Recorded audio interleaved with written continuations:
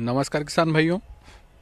मैं हरी विजय दुबे, सब्ज़ी विज्ञान विभाग, चंद्रशेखर आज़ाद, कृषि एवं प्रौद्योगिकी विश्वविद्यालय, कानपुर से बोल रहा हूँ।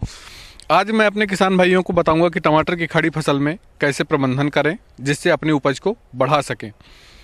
तो जैसे इस समय के हमारे किसान भाइयों के खेत में टमाटर की फ़सल लगी हुई है तो उसमें सबसे मेन चीज़ आती है खरपतवार प्रबंधन की। तो मैं सबसे पहले बताऊँगा कि अपने किसान भाइयों को कि वो खरपतवार प्रबंधन कैसे करें, क्यों करना खरपतवार प्रबंधन करना ज़रूरी क्यों है?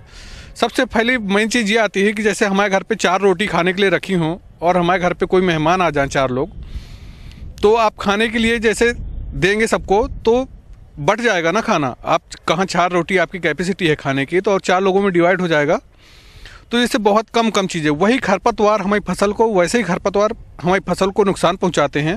कि जो मेन चीज़ जो हम लोगों ने इसमें फर्टिलाइज़र डाली हैं, खाद उर्वरक, जितनी भी चीज़ें डाली हैं न्यूट्रिएंट्स डाले हैं तो वो वो पूरे मात्रा में हमारे पौधे को ना मिलकर खरपतवार उनको अपनी ओर आकर्षित कर लेते हैं और खरपतवार उसका पूरा उपयोग करते हैं और हमारी फ़सल उसके कारण कमज़ोर हो जाती है। और हमारी फ़सल में लगभग 10 से 20 परसेंट तक हमें उसका नुकसान सहना पड़ता है। तो सबसे बात आती है कि जब हमारी फ़सल लगभग एक महीने की हो जाए, तीस दिन की हो जाए, तीस दिन बाद हमें उसमें हल्की निराई गुड़ाई करके, जो खेत में अवैध उगे हुए खरपतवार हैं, उनको निकाल देना चाहिए खुरपी की सहायता से, और हल्की खेत की गुड़ाई कर देना चाहिए। हल्की खेत की गुड़ाई करने से ये होता है कि जो हमारे पौधे हैं, वो पौधों में आसानी से हवा का आवागमन उनकी जड़ों में होता रहेगा, जिससे आवागमन होने से क्या होगा कि हमारी जो जड़ें हैं वो अधिक विकसित होंगी और अधिक फैलेंगी, जिससे कि हमारे पौधे का भरपूर विकास हो जाएगा।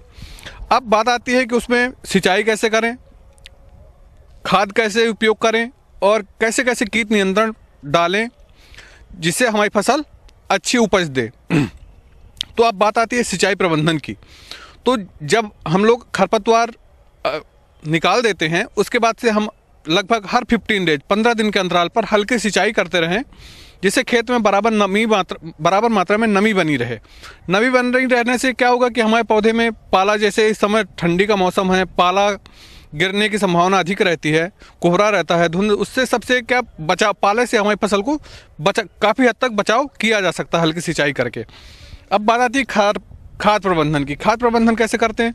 कि जब हम लोग स्टार्टिंग में खेत की बुआई के समय खेत में 25 से 30 टन गोबर की खाद डालते हैं, लगभग 100 किलोग्राम नाइट्रोजन डालते हैं 50 से 60 किलोग्राम फास्फोरस डालते हैं और पोटाश डालते हैं, ये सब की चीज़ों की जो मात्राएँ होती हैं, वो तो पूरी मिला देते हैं, लेकिन जो नाइट्रोजन की मात्रा रहती है, वो आधी मात्रा ही हम लोग खेत में, खेत की तैयारी के समय मिलाते हैं। तो हल्के हर जब निराई गुड़ाई कर लें, निराई गुड़ाई करने के बाद जो शेष बची हुई नाइट्रोजन की मात्रा है, उसको दो हिस्सों, दो भागों में डिवाइड कर लें। जो पहली बार जब निराई गुड़ाई करें, उसके बाद खेत में अच्छी, खेत में पूरी तरह से बुरकाव कर दें या छिड़काव कर दें और हल्की सिंचाई कर दें। अब बात आती है इसमें लगने वाली बीमारियों की। तो सबसे ज़्यादा इसमें लगने वाली बीमारी है एक लीफ कर लाती है, जिससे पत्तियाँ हम लोग की ऐसे मुड़ जाती हैं पूरी तरह से। तो अगर उससे बचाव करने के लिए सबसे एक ही मेन तरीका है कि या तो हम लोग पौधे को उखाड़ कर नष्ट कर दें, और दूसरा उससे बचाने के लिए हम लोग एक इमीडा क्लोप्रिड नामक एक दवा आती है, जिसका डोज तीन ग्राम, तीन एमएल पर लीटर, पर दस लीटर पानी में मिलाकर हम लोग पूरे अपने टमाटर के पौधों पर स्प्रे करते रहें। अगर टाइम टू टाइम लगभग 10 से 15 दिन के अंतराल पर ये स्प्रे करते रहेंगे, जिससे हमारी ये बीमारी अन्य पौधों पर कम हो जाएगी, काफ़ी हद तक रोका जा सकता है। अब दूसरी बीमारी आती है, इसमें एक ब्लाइट आती है। वो ब्लाइट से बचाने के लिए हमें एक मैनकोजेब नामक एक दवा आती है। मैनकोजेब ले लें या कोई भी फफूंदनाशी ले लें, कार्बेंडा जिम हो, जो आपके पास उपलब्ध हो उस समय, उसका ढाई से दो से ढाई ग्राम पर लीटर पानी में मिलाकर डोज का स्प्रे हर पंद्रह दिन के अंतराल पर कर देते हैं। अब बात आती है इसमें लगने वाले कीटों की तो इसमें लगने वाला मुख्य कीट है जो, वो है फ्रूट बोरर, यानी फल छेदक। फल छेदक क्या होता है जो एक कीड़ा होता है, वो हमारे फल के अंदर जाके उसको पूरी तरह से खोखला करके गला देता है और पौधा जिसके कारण हमारी फ़सल को बहुत ज़्यादा नुकसान उठाना पड़ता है। हमारे किसान भाइयों को उपज कम प्राप्त होती है। उससे बचाने के लिए एक इंडोक्सा कार्ब नामक दवा आती है, जिसका दो से ढाई एम पर लीटर पानी पर दस लीटर पानी में मिलाकर हम लोग पौधे पर अपने इसको स्प्रे कर सकते हैं। पौधों पर स्प्रे करने से क्या रहेगा कि हमें इससे काफ़ी हद तक बचाया जा सकता है। अब एक और इसमें कीट आती है वाइट फ्लाई वाइट फ्लाई क्या करती है? वाइट फ्लाई आके उसमें अपने लार्वा अंडे छोड़ देती है, जो वो धीरे धीरे धीरे धीरे करके पूरे फ़सल में फैल जाते हैं और हमारी फ़सल को काफ़ी हद तक बहुत ज़्यादा ही नुकसान पहुंचाते हैं। इससे बचाने के लिए हमारे किसान भाई क्या करें? कि एक एसी टामाप्रिड नामक दवा आती है। एफी टामाप्रिड नामक दवा को लें एक से डेढ़ एम पर लीटर पानी में मिलाकर लगातार उसमें स्प्रे करते रहें।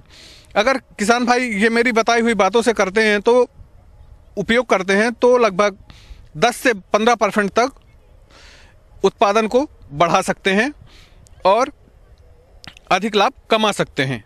और इस तरह बताई हुई बात से अगर किसान भाई हमारे खेती करते हैं तो उनको लगभग 40 से 45 टन, यानी 400 से लगभग 500 कुंटल प्रति हेक्टेयर तक संकर टमाटर का जो है उत्पादन प्राप्त कर सकते हैं। और जो हम लोग के नॉर्मल टमाटर का है, वो लगभग 25 से 30 टन प्रति हेक्टेयर उत्पादन प्राप्त कर सकते हैं।